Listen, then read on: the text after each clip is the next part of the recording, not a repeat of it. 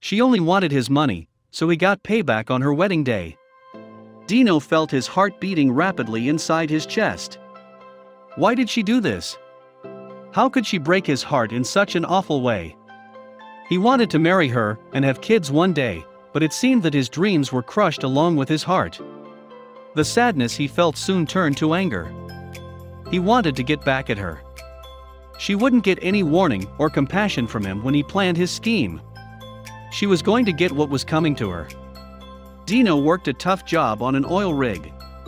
Even though rig workers don't need a fancy education, the men that choose to work here are highly skilled. There's one thing more important than education, and that's experience. Dino had what the company was looking for. He noticed the small details while on the job and knew what to do. From the outside, people thought Dino had it all a good job, a great house, and some really good friends. Dino had been lucky with his employment and his house, but he had always wanted something more. He had always had bad luck when it came to love. That would all change though. Some people would love a chance to be with Dino. He was clever, made good money, and was responsible. He was also very humble and didn't brag about what he had. After saving up enough, he paid for a beautiful condo in full. The only thing Dino felt he didn't have was a girl that he could share his joy with. What Dino didn't realize was that the next woman to come into his life would try to destroy it. Dino's co-workers would have a new girlfriend every shore leave. Dino respected them, but that life wasn't for him. He wanted to find someone truly special. Dino may be a very patient person, but that doesn't mean he's indecisive. One day, his friends couldn't believe it when they saw the woman holding Dino's hand. When Dino met this woman, he was enthralled. Andrea was a beautiful woman who looked like a movie star. She could have easily been on the cover of Vogue. Dino's co-workers were also speechless when they saw his new girlfriend. But not for the same reason as others. A lot of Dino's friends were happy for him when he found Andrea. Others had their suspicions. One friend in particular named Josh thought she was the most selfish, attention-seeking woman he'd ever seen. Dino couldn't have known this at the time, he couldn't see the future. But warning signs soon started appearing. Sometimes, Andrea's self-centered side would show. She explained that it was due to a bad childhood including parental divorce.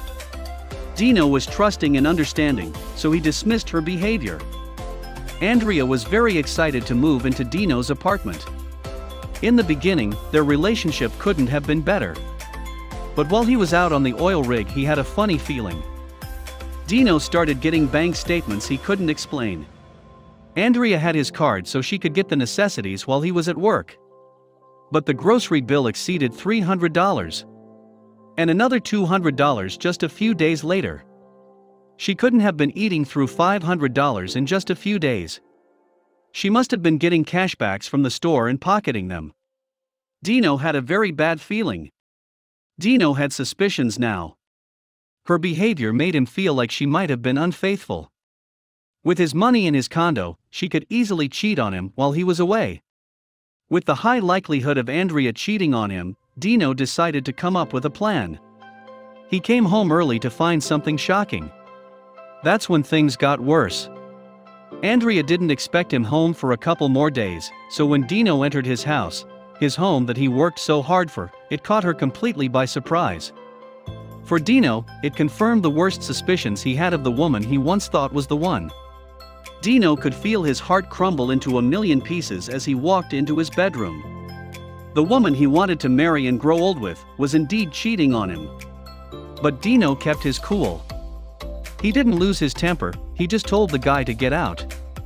He then told Andrea to get out too. He handed her the key to a hotel room, $50 for cab fare, and told her to leave. But Andrea wasn't leaving. Andrea kept screaming, crying, apologizing.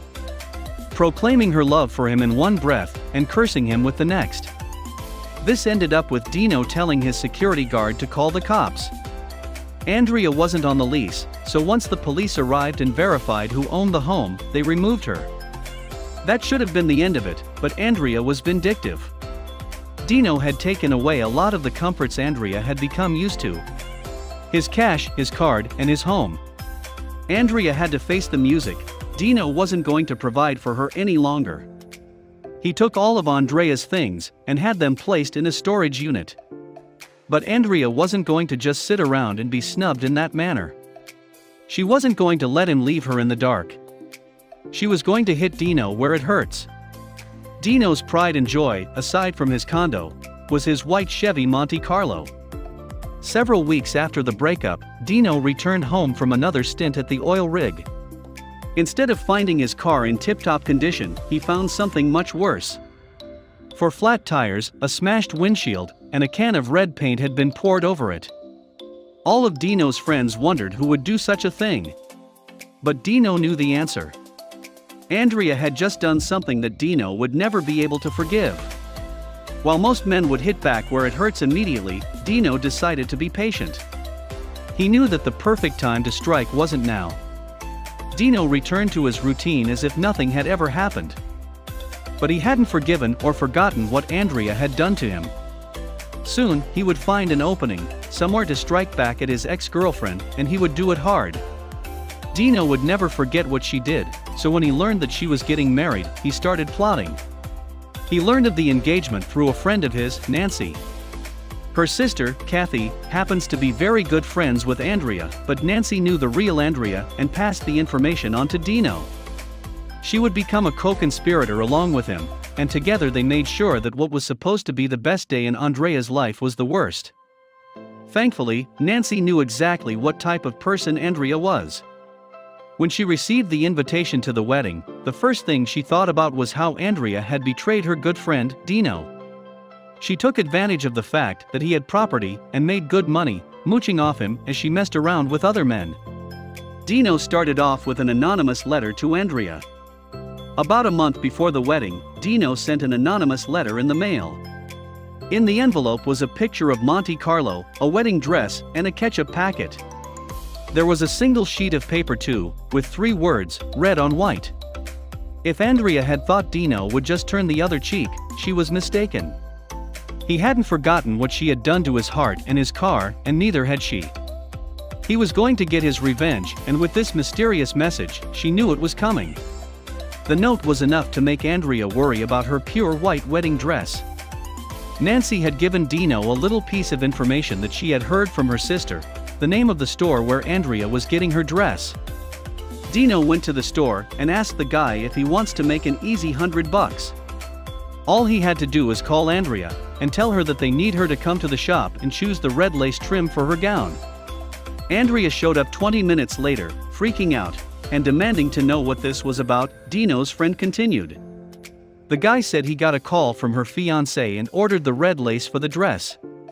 Andrea knew that it wasn't the fiancé, but she had a pretty good idea of who was behind the sabotage. She was freaking out with good reason, his staining her white dress red wasn't a matter of if to her, but rather a matter of when. She was spooked. With the wedding soon approaching, bride-to-be Andrea was freaking out. Dino waited until there were just a couple of weeks left until the big day.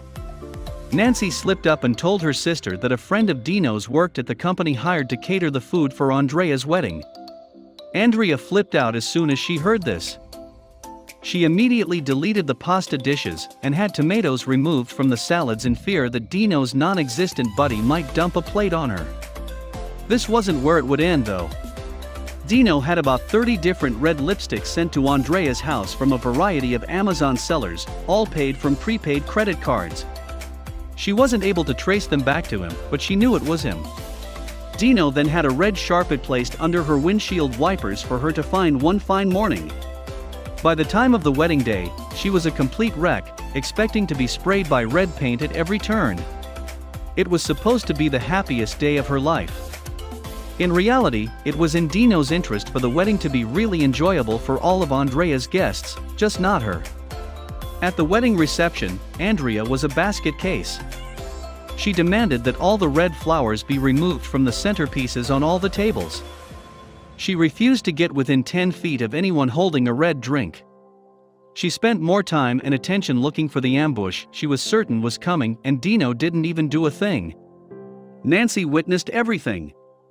He'd turned her into Bridezilla, and Nancy kept him updated with a running commentary as the night progressed. Right in front of all her family and friends, Andrea exposed herself to be an erratic and paranoid person that was demanding everyone bend over backward every time there was a problem. In the end, the only thing stained was her reputation.